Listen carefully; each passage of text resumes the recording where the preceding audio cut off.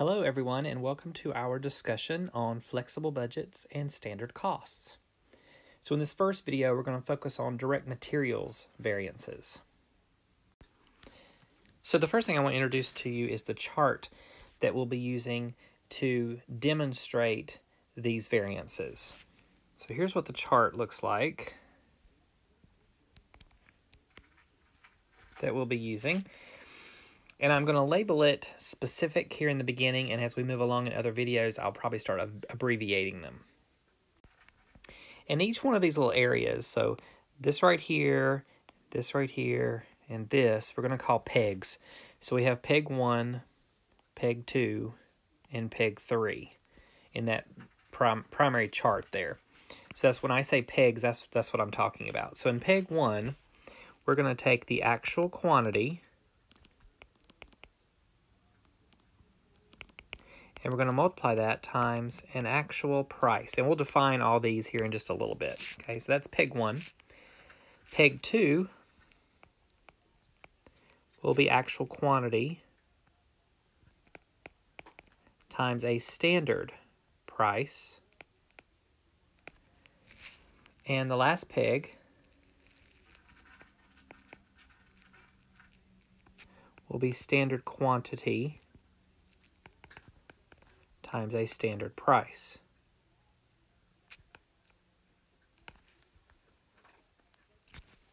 Now, the difference in pegs 1 and 2 is what we call a price variance. The difference in pegs 2 and 3 is a quantity variance. And down at the bottom, the secondary little diagram there, this is called our flexible budget variance. Now let's talk about each one of these pieces that make up this whole puzzle here. The first one we'll talk about is actual quantity. Actual quantity here refers to the actual materials. Notice we're doing materials variances.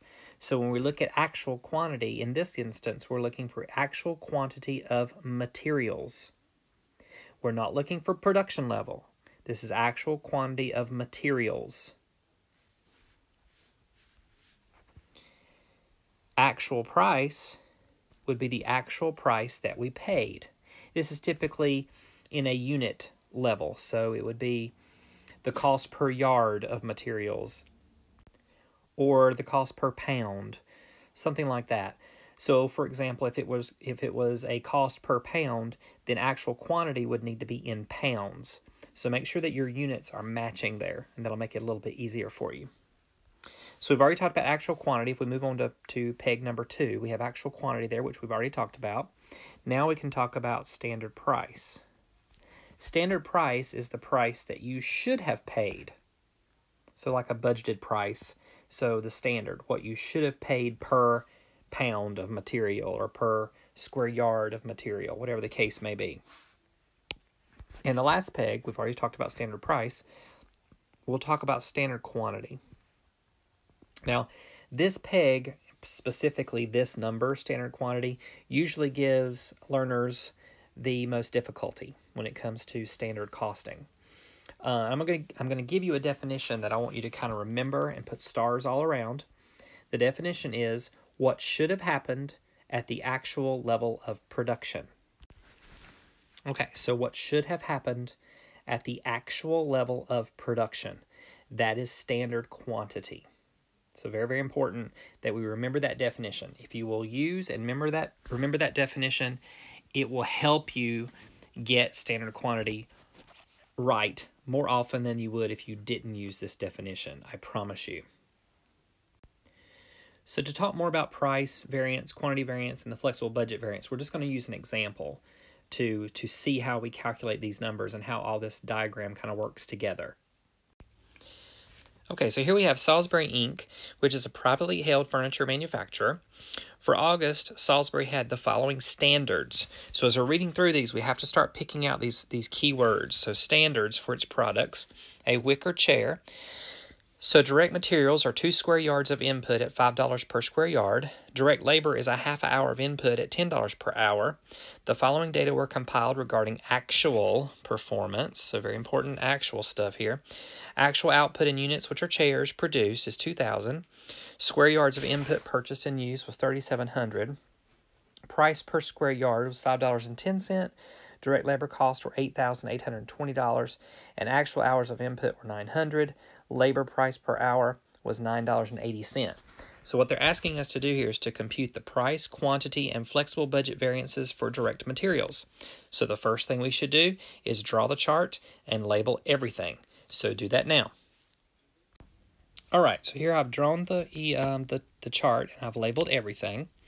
So that makes it a little bit easier for us to put things into our chart. So the first peg is actual quantity times actual price. So they tell us in the story that the actual quantity of materials used and purchased was 3,700. All right, so I'm going to put that into my actual quantity here. Now, that is in yards.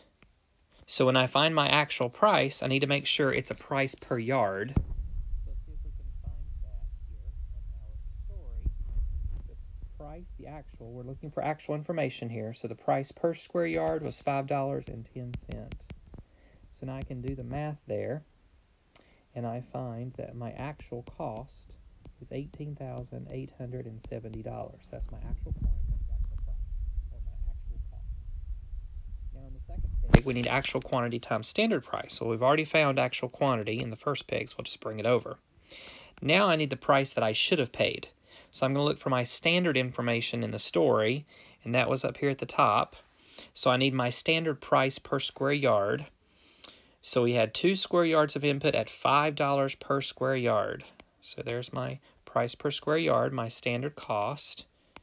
And so if we multiply that through, we get $18,500. Now before we calculate any variances, I'm just going to calculate all the pegs so that we'll have that information. So standard price we already have. We'll go ahead and pull that over here to my last peg. Now I need standard quantity. Now usually this number you're going to have to calculate and it's based on two things. If you think back to the definition that I just gave you. What should have happened at the actual level of production. So let's first thing, let's find the actual level of production. So they tell me in the story that the actual output in units produced, which are chairs, was 2,000.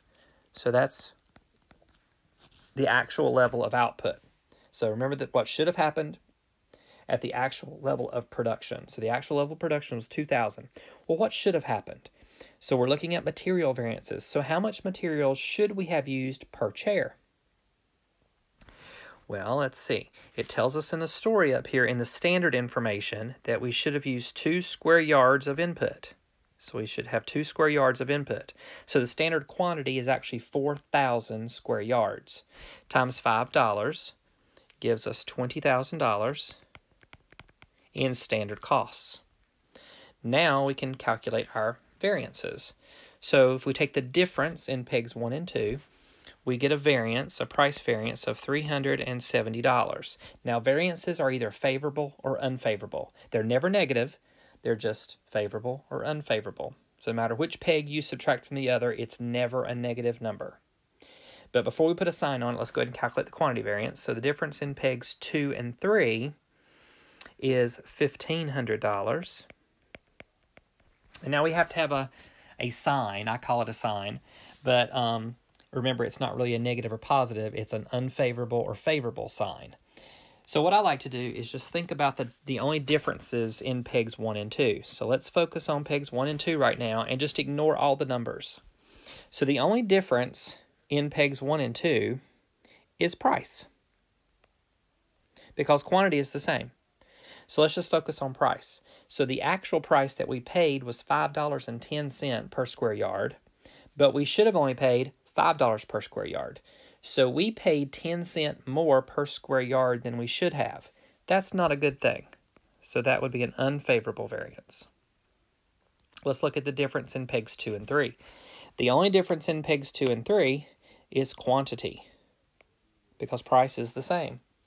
So we actually used 3,700 square yards of materials, but at our level of production, 2,000 chairs, we should have actually used 4,000 square yards. So we actually used 300 square, square yards less than we thought we would have at our level of production. That's a good thing. So that is a favorable variance. Now we can calculate the overall variance, which is the flexible budget variance, a couple of different ways. We can sum our two variances, and because they have different signs, we would get a difference in these two. Okay, so the difference in these two is 1130, and we bring down the sign with the highest number. So the highest number in, in these two is 1500, so we'd bring down the favorable sign. That's one way we could do it. Another way we could calculate the overall flexible budget variance is to take the difference in pegs 1 and 3. So our actual cost was $18,870 and the standard cost, the cost we should have incurred, was $20,000. So we actually paid less than we thought. That's a good thing, and the difference in the two is $1,130, and therefore it would be favorable. Now, it's great that we can calculate these variances, but we also need to be able to interpret them. So let's think about what they're telling us here.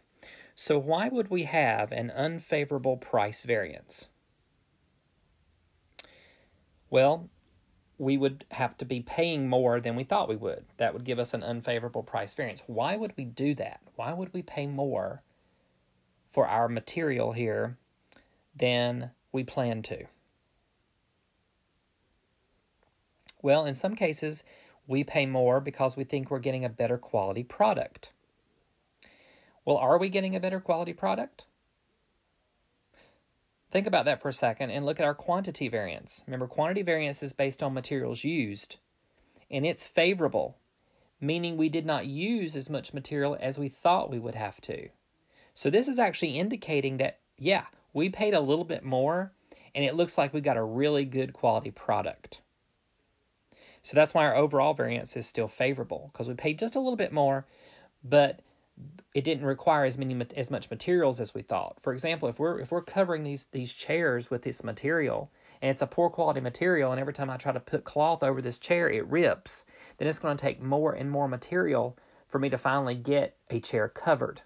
In this case, we have a good quality material, so one one time at covering the chair, it must do well. Therefore, the the waste that I may have um, thought about in in creating these these uh, budgets, these standard numbers, I really didn't need because I got a really good quality product. So it's always important that you think about these variances as you're calculating them. What are they telling you? So think through this process. Now, we think this is what's going on right now, but there's also labor involved. So we have to think about, well, maybe our labor is just really, really good. We don't know because we don't have those labor variances in front of us. In the next video where we're talking about labor variances, we'll actually do this same problem, but we'll calculate labor variances. And then we'll talk about the material and the labor variances together and see if we can see the full story.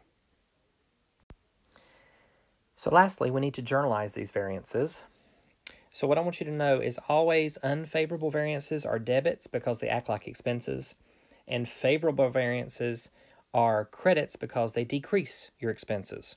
Ultimately, unfavorable variances will increase cost of goods sold. Favorable variances will decrease cost of goods sold.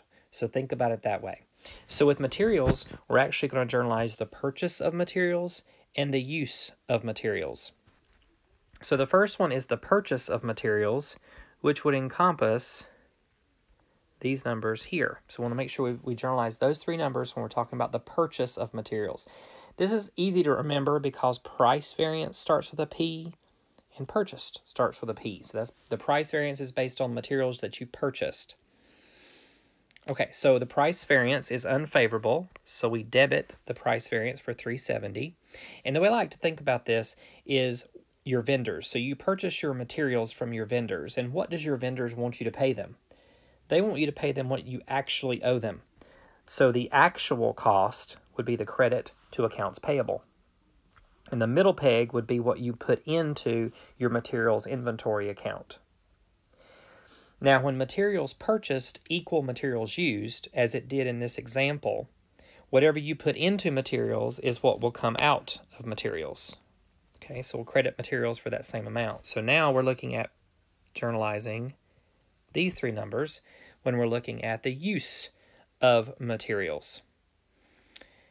Also, another another standard is whatever the standard cost is, that is what you debit work in process for.